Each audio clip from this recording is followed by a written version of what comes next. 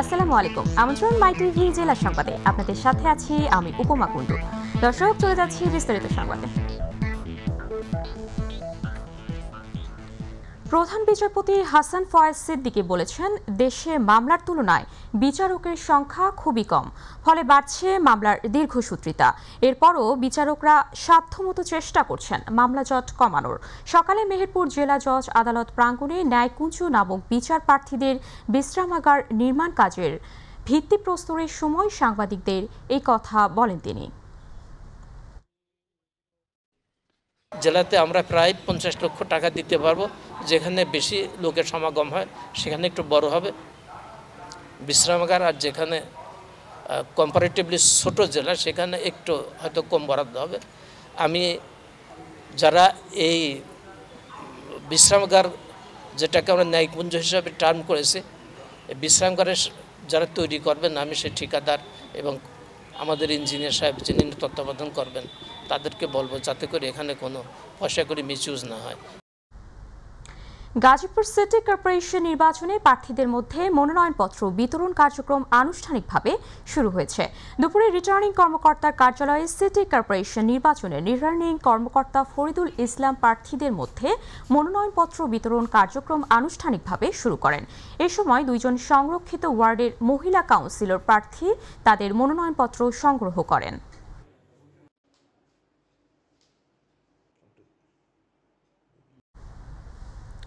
চৈত্রের খরতাপে পুড়ছে দেশ। গত এক সপ্তাহ ধরে প্রচণ্ড তাপদাহ বইছে কুড়িগ্রামে। আজ সর্বোচ্চ তাপমাত্রা রেকর্ড করা হয় সাঁত্রিশ ডিগ্রি।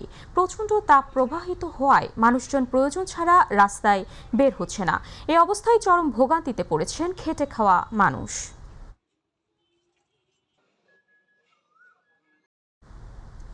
রংপুরের পীরগঞ্জে অটোরিকশা ও যাত্রীবাহী বাসের সংঘর্ষে অন্তত দুইজন নিহত হয়েছে। আহত হয়েছেন আরও একজন। বড়দরকা হাইওয়ে থানার পুলিশের ভারপ্রাপ্ত কর্মকর্তা সোলাইমান জানান, সকালে ঢাকা রংপুর মহাসড়কের জামতলায় এই দুর্ঘটনা ঘটে। দুর্ঘটনার পর অটো চালক ও এক যাত্রী ঘটনাস্থলেই মারা যায়। পরে ঘটনাস্থল থেকে নিহতদের মরদেহ উদ্ধার করে বড়দরগা হাইওয়ে পুলিশ। কুষ্টিয়ায় ট্রাক চাপায় এক ব্যবসায়ীর মৃত্যু হয়েছে। পুলিশ জানায়, সকালের দিকে ব্যবসায়ী ইমরান কুষ্টিয়া শহর থেকে অটোরিকশায় পোড়াদহ যাওয়ার পথে হঠাৎ অটো থেকে রাস্তায় পড়ে যান। এ সময় বিপরীত দিক থেকে আসা একটি দ্রুতগামী ট্রাকের সাথে ধাক্কায় গুরুতর আহত হন তিনি। পরে স্থানীয়রা তাকে উদ্ধার করে কুষ্টিয়া জেনারেল হাসপাতালে নিয়ে গেলে চিকিৎসাধীন অবস্থায় তার মৃত্যু হয়। বরিশালের মুলাদিতে আধিপত্য বিস্তারকে কেন্দ্র করে দুই গ্রুপের সংঘর্ষে দুইজন যুবক নিহত ঘটনায় এলাকার অতিরিক্ত পুলিশ মোতায়েন করা হয়েছে। উপজেলার বাটামারা ইউনিয়নের তয়কা গ্রামে রাতে হত্যাকাণ্ডের এই ঘটনা ঘটে। এতে জিজ্ঞাসাবাদের জন্য ইউপি সদস্য সহ দশজনকে গ্রেপ্তার করে মুলাদি থানার পুলিশ।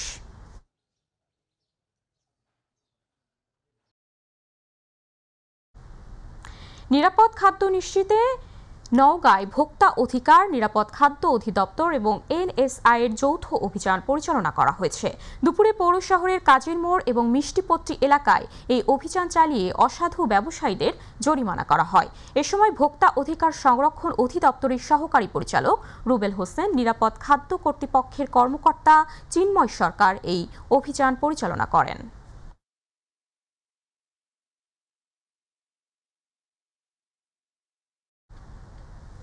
দেশে প্রথমবারের মতো সর্বোচ্চ পরিমাণ কয়লা নিয়ে পায়রা সমুদ্র বন্দরের ইনার চ্যানেলে ভিড়ছে মেশিনিয়ান স্পায়ার নামের একটি কয়লাবাহী জাহাজ। সোমবার পায়রা তাপ বিদ্যুৎ কেন্দ্রের জন্য চল্লিশ হাজার নয়শো পঞ্চাশ মেট্রিক টন কয়লা নিয়ে বাহামস এর পতাকাবাহী জাহাজটি বন্দরে এসে পৌঁছায়।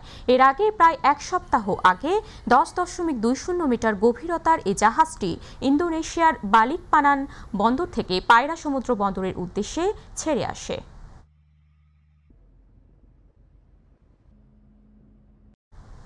এবারে আমাদের কৃষি।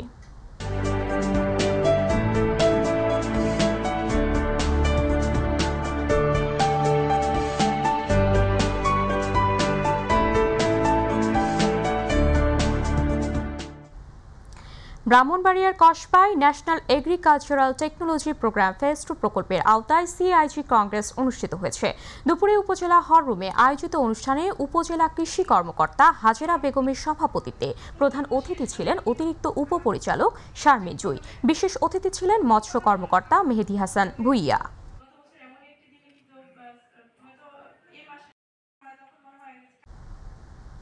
হবিগঞ্জের মাধবপুরে ন্যাশনাল এগ্রিকালচারাল টেকনোলজি প্রোগ্রাম প্রজেক্টের আওতায় সিআইজি কংগ্রেস সভা অনুষ্ঠিত হয়েছে। দুপুরে মাধবপুর পাইলট উচ্চ বিদ্যালয়ে উপজেলা কৃষি কর্মকর্তা আল মামুন হাসানের সভাপতিত্বে প্রধান অতিথির বক্তব্য রাখেন খামারবাড়ি হবিগঞ্জের উপপরিচালক নূরে আলম সিদ্দিকী।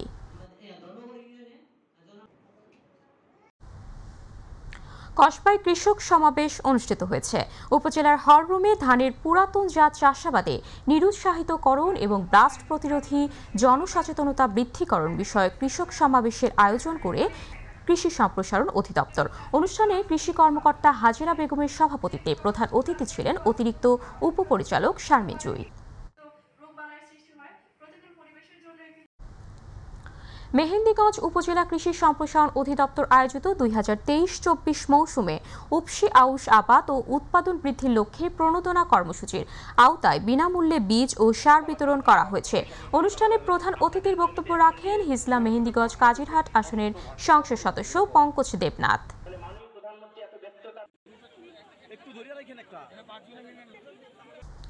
ব্রাহ্মণবাড়িয়ার আখাউড়ায় জায়গা সংক্রান্ত বিষয়ে বড় ভাইকে হত্যার অভিযোগ উঠেছে ছোট ভাইয়ের বিরুদ্ধে। উপজেলার মোগরা ইউনিয়নের নুনাশার গ্রামে এই হত্যাকাণ্ডের ঘটনা ঘটে। এই ঘটনায় দুইজনকে আটক করেছে পুলিশ। পুলিশ জানায়, বসতবাড়ি ও পুকুরের জায়গা নিয়ে আপন ছোট ভাই খলিলুর রহমানের সাথে নিহত আব্দুর রহমানের দীর্ঘদিন বিরোধ চলছিল।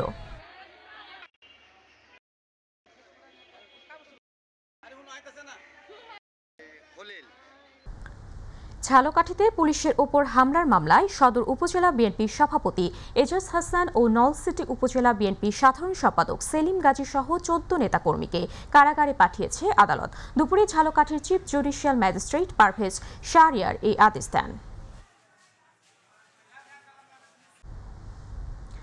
ঈদ মৌসুমকে কেন্দ্র করে চুরি, ছিনতাই ও চাঁদাবাজির সঙ্গে সংশ্লিষ্টদের কর্মকাণ্ড নজরদারিতে রাখা হয়েছে। কেউ অপরাধে জড়ানোর চেষ্টা করলে ছাড় দেয়া হবে না বলে হুঁশিয়ারি দিয়েছেন সিএমপি কমিশনার কৃষ্ণপদ রায়। দুপুরে চট্টগ্রামে মার্কেট পরিদর্শন শেষে সাংবাদিকদের প্রশ্নের জবাবে এই কথা বলেন তিনি। তিনি আরও বলেন, সাধারণ মানুষের ঈদ কেনাকাটা নির্বিঘ্ন করতে মার্কেট ছাড়াও নগর জুড়ে আইন শৃঙ্খলা পরিস্থিতি নিয়ন্ত্রণের চেষ্টা চালিয়ে যাচ্ছে পুলিশ।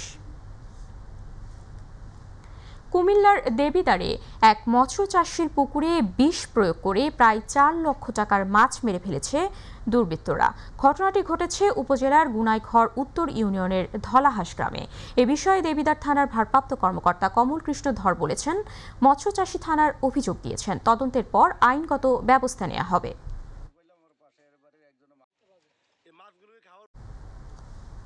যশোরে দারিদ্র বিমোচনে জাকাতের ভূমিকা শীর্ষক সেমিনার অনুষ্ঠিত হয়েছে।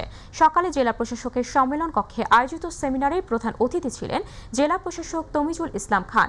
ইসলামিক ফাউন্ডেশনের উপপরিচালক বিল্লাল বিন কাশিমের সভাপতিত্বে আরও উপস্থিত ছিলেন অতিরিক্ত পুলিশ সুপার বেল্লাল হোসেন সহ আরও অনেকে।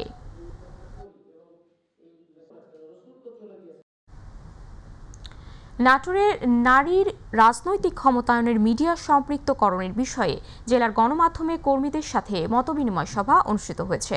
বরেন্দ্র বহুমুখী উন্নয়ন হলরুমে আলোচনা সভায় উপস্থিত ছিলেন সিংড়া উপজেলা পরিষদ মহিলা ভাইস চেয়ারম্যান শামীম আক্তার রোজি।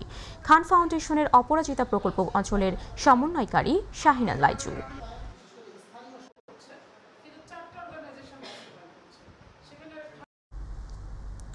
ভোলায় পুলিশ এবং ফায়ার সার্ভিসের যৌথ সমন্বয়ে অগ্নি নির্বাপন পহরা অনুষ্ঠিত হয়েছে। জেলার পুলিশ সুপার মোহাম্মদ সাইফুল ইসলামের দিক নির্দেশনায় তজমুদ্দিন থানার ভারপ্রাপ্ত কর্মকর্তা মাকসুদুর রহমান মুরাদের উপস্থিতিতে তজমুদ্দিন থানার কম্পাউন্ডে এই মহড়া অনুষ্ঠিত হয়। এ সময় উপস্থিত ছিলেন ফায়ার সার্ভিসের স্টেশন অফিসার রেজাউল করিম সেলিম, থানার পুলিশ পরিদর্শক তারিক হাসান সহ থানা ও ফায়ার সার্ভিসের সদস্যরা।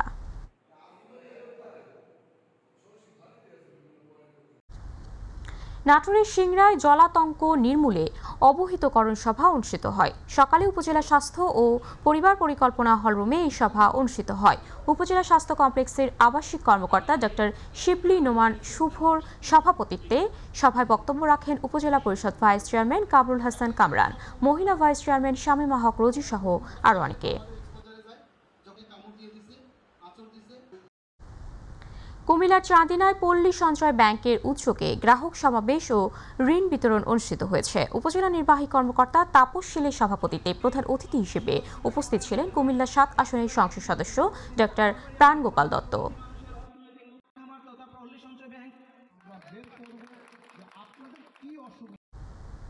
রাজধানীর উত্তরাই সিটি কর্পোরেশন পঁয়তাল্লিশ ও ছেচল্লিশ নং ওয়ার্ডে আসন্ন ঈদ উল ফিতর উপলক্ষে গরিব, অসহায় ও দুস্থদের মাঝে ঈদ সামগ্রী বিতরণ করা হয়েছে। প্রায় চার হাজার গরিব, অসহায় ও দুস্থদের মাঝে উক্ত ঈদ সামগ্রী বিতরণ করেন ঢাকা আঠারো আসনের সংসদ সদস্য হাবিব হাসান। এ সময় ওয়ার্ড কাউন্সিলর জয়নাল আবেদিন সহ অনেকে উপস্থিত ছিলেন।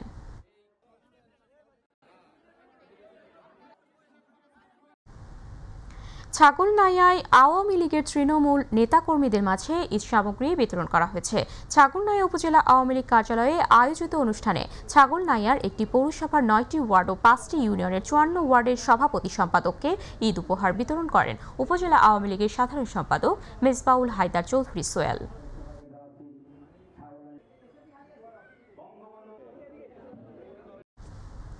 নোয়াখালী সোনাইমুড়ি চাটখিল উপজেলায় ঈদ উপহার সামগ্রী হিসেবে প্রায় সাতশো অসহায় হতদারিদ্র মানুষের মাঝে তিন হাজার টাকা করে চেক হস্তান্তর সহ ঢেউটন বিতরণ করা হয়েছে। দুপুরে উপজেলার বিভিন্ন স্থানে সশরীরে উপস্থিত থেকে ঈদ উপহার সামগ্রী বিতরণ করেন সংসদ সদস্য এইচ এম ইব্রাহিম।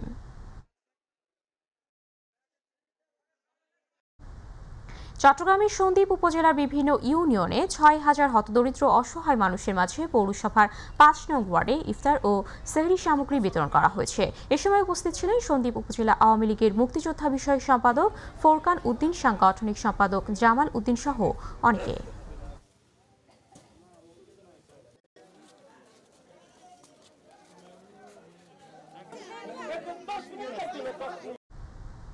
টাঙ্গাইলে মাওলানা ভাসানী বিজ্ঞান ও প্রযুক্তি বিশ্ববিদ্যালয় অফিসার্স অ্যাসোসিয়েশনের আয়োজনে সুবিধা বঞ্চিত পরিবারের মাঝে ঈদ উপহার সামগ্রী বিতরণ করা হয়েছে।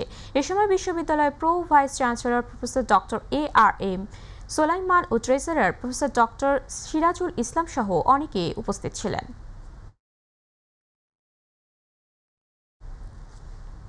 ফেনী পৌর এলাকার প্রতিবন্ধী সংবাদপত্র হকার ইব্রাহিম সাদ্দাম একটি নতুন ঘর উপহার দেওয়া হয়েছে। দুপুরে ফেনী জেলা প্রশাসক আবু সেলিম মাহমুদ উল হাসান ফিতা কেটে নবনির্মিত ঘরের উদ্বোধন করেন। এ সময় উপস্থিত ছিলেন ইউনাইটেড ট্রাস্টের কোঅর্ডিনেটর ফয়সাল ভুইয়া সহ আরও অনেকে।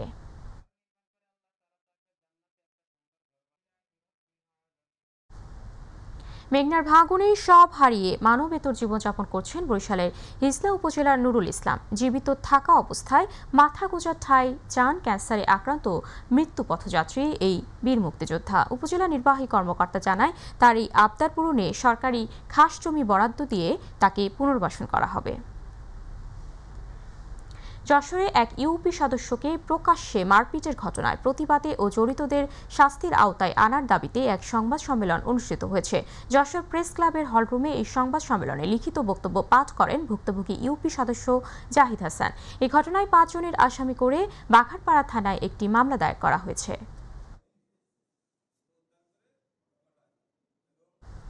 হবিগঞ্জের চুনারু ঘাটে একজন নারীকে বেত্রাঘাত এবং পাথর নিক্ষেপ করে শাস্তি দেওয়ার ঘটনার প্রতিবাদে মানববন্ধন কর্মসূচি পালন করা হয়েছে। সকালে মহিলা পরিষদের আয়োজনে দিনাজপুর প্রেস ক্লাবের সামনে মানববন্ধন কর্মসূচি পালন করা হয়। এই ঘটনার প্রতিবাদে আজ দেশজুড়ে কর্মসূচি পালন করছেন মহিলা পরিষদের কর্মীরা।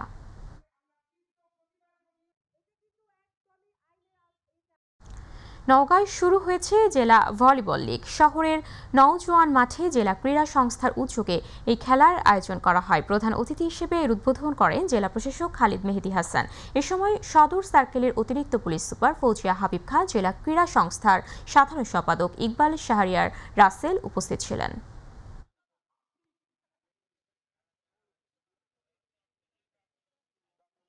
দর্শক, সাথে থাকার জন্য ধন্যবাদ। আমাদের পরবর্তী সংবাদ দেখার আমন্ত্রণ জানিয়ে বিদায় নিচ্ছি আমি, উপমা কুন্ডু আল্লাহ হাফেজ।